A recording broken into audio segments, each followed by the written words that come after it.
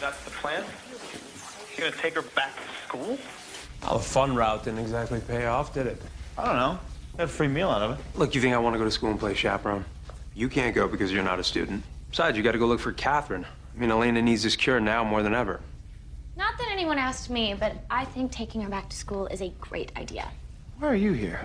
Uh, blame it on your fancy water filters. Your house has the only vervain-free showers in town. Oh, yeah, the mayor put Vervain on the water supply. So many people to kill. Yeah, my mom says it's about to get worse. So she could use a little help.